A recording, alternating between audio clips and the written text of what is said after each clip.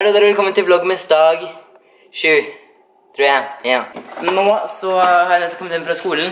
Jeg tror jeg bare gjør det sånn noen ganger at jeg på en måte ikke filmer eh, før skolen, fordi det er mange dager jeg ikke har tid til det, egentlig, rett og slett. Oi. Sånn. Det var jo delikat, eller hva? Ja, som jeg sa, så kom jeg nettopp inn fra skolen, så jeg bare tar meg noe sånn enkelt og greit, noen lunsjkaker eller et eller annet. Jeg vet ikke hva det er for noen gang. Men eh, ja, nå kommer det folk hjem til meg. Fordi vi skal filme til et sånt filmprosjekt vi har på skolen. Så ja, da skal jeg bruke det kameraet her, så jeg får ikke vlogga det. Vi kan jo egentlig ta denne kalenderen, kan vi gjøre. Sju, det er vår Sju Der, jeg, jeg fant den. Og jeg glemmer jo alltid å, å gjette gjennom den. Ja, jeg visste jo egentlig hva som var oppi der, fordi at eh, jeg har en venn som tok det her i går kveld på sjueren. Det er sånne sjokobons, eller ja, hva det nå enn heter, det vet jeg ikke. Men det er helt fantastisk. Så nå kommer de folka hjem til meg, og så um, skal vi sikkert filme en liten stund. Etter det så må jeg øve til um, Vietnam fagsamtale som vi skal i morgen. Kjenner jeg gleder meg til den. Ja, har ikke jeg starta å øve på ennå. Men det er egentlig litt lyst på Pepsi Max. Jeg skal jeg bare egentlig gå og ta meg litt vann, jeg. Et lite glass med Pepsi Max, jeg altså.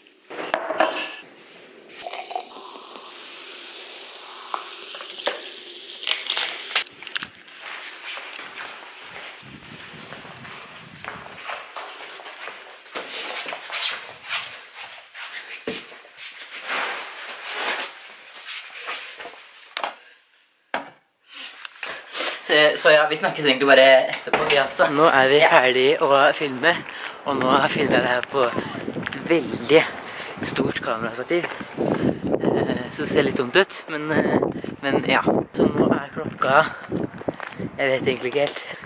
Klokka er eh, ti på fem, og nå skal jeg bare inn og chille litt, og så må jeg øve på den Vietnam... Eh, Vietnamkrig-presentasjonen jeg skal ha i morgen. Så ja. Nå har jeg laga meg litt Eller jeg har ikke laga mamma. Har laget, Ja, det ser så sunt ut at det hjelper. Det er sånn lakseburger. Jeg synes det så sunt at jeg måtte bare smelle på et eller annet ketsjup altså, oppå potetmosen min. Ja. Men siden jeg ikke gjør noe spesielt i dag, så tenkte jeg jeg kunne ta og fortelle dere litt om liksom, framtida jeg tenker. Eh, være veldig åpen om det. Um, sånn at vi får noe å fylle den vloggen her med. Ja. Ok, fordi at Jeg har egentlig sett for meg framtida mi veldig greit, egentlig. Og sikkert mange som blir sjokka over det her, men mange som blir sjokka. Sikkert noen som blir litt sånn øh, yeah, Gult. Ja. Og det her. Fordi til sommeren så skal jeg veldig mest sannsynlig på språkreise til uh, LA, Long Beach, med Emma eh, Ellingsen. Og um, oh, Gud, jeg må sette meg litt deilig, altså. Ja. Og um, ja, være der i tre uker eller ja, et eller annet. Nå, nå, tenker jeg litt sånn med dere, for at en eller annen gang så kommer jeg til å endre kanalen min over til engelsk. Slapp av, det blir ikke enda. Um, sikkert mange som er positive, og sikkert helt sikkert noen som er negative. Men det jeg tenker er at det er veldig mange som gjør det i det siste. Og det er, det er også veldig mange som gjør det liksom for eh, masse følgere. Men jeg gjør det egentlig aller mest fordi fordi man når ut til flere mennesker, og det er jo på en måte at man vil ha flere følgere, men, men man kan liksom um, Jeg vet ikke. Jeg bare, jeg bare syns det er noe kult med å liksom kunne nå ut til hele verden, liksom. Fordi når man bare snakker norsk, så setter man en sånn begrensning liksom, på bare innenfor Norge. Um, og jeg er jo ganske komfortabel med å snakke engelsk, liksom. Det går fint, det, liksom. Så det jeg egentlig tenker litt på, er om jeg skal enten um, bytte til engelsk kanal på språkreise nå i sommer for å se om jeg liker det og sånne ting. Um, bare prøve det ut. Og så hvis jeg kommer hjem fra ja, språkreisen og syns det funka dritbra og det var kjempegøy, liksom, så fortsetter jeg egentlig bare med det. Hvis ikke, så venter jeg et år til, fordi året etter da så skal jeg på utveksling til USA et år. Um, ja, jeg, jeg, bare vet at jeg, har ikke lyst til å bo i Norge. Jeg har ikke lyst til å liksom sitte her, egentlig. Egentlig bare mest lyst til å um, go out there and chase my dreams. Nei, ikke så klisjé, da, men jeg vil flytte til USA og bare live my life.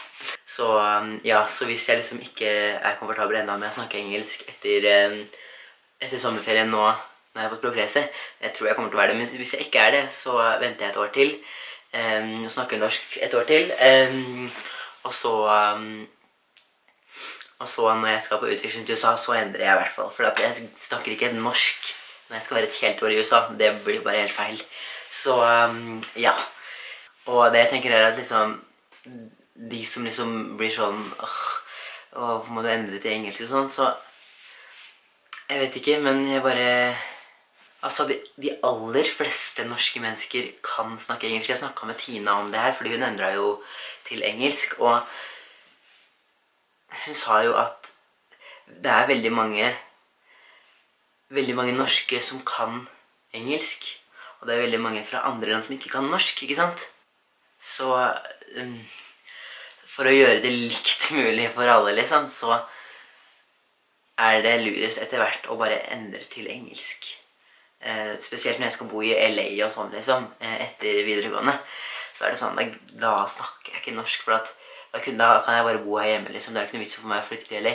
Jeg flytter til LA fordi alt er så mye bedre i USA, liksom, føler jeg.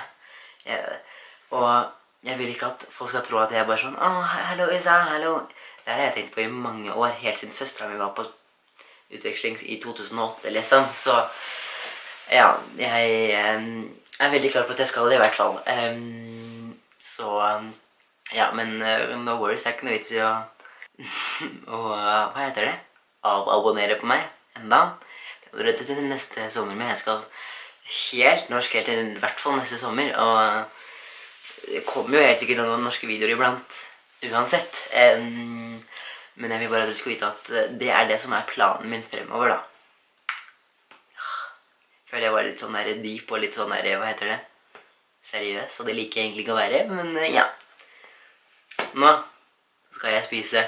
Så ja, jeg er veldig excited for the future. ja. Så det. Nå skal jeg i hvert fall spise dette greiene her. Og se på et eller annet vloggmess-greier på YouTube. Så um, ja. Da vil jeg ville egentlig bare at dere skulle vite det. Så nå vet dere det. Ha det bra. I dag har det vært en av de dagene igjen sånn som jeg hadde i går, eh, hvor jeg ikke har gjort noe. Ingenting har jeg gjort i dag. Da var klokka rett og slett halv elleve, og jeg har ikke gjort nesten en dritt i dag, rett og slett. Men altså, det er deilig det, da. Jeg skulle jo egentlig øve til den her Vietnam-fagsamtalen eh, i morgen, men altså Ja, vi har hatt så mye at jeg bare har vært så sliten i dag, så det har jeg fått snakka med læreren min og tenkte ikke å gjøre det i morgen. Skal gjøre det hele på starten av neste uke. Eller det blir jo tirsdag, da, siden vi har den der mattedagen på mandag. Mm, ikke sant? Deilig. Ja. Mm, så ja. Men nå har jeg laga taco. Eller mamma igjen har laga taco. eh, og nå skal jeg spise den. Eller jeg skal liksom legge meg der. Spise tacoen som jeg ligger der nede. Og så skal jeg sove. Om, det er nok en stund til, da. Men nå skal jeg i hvert fall legge meg ned og gjøre meg klar for å sove. Um, så ja.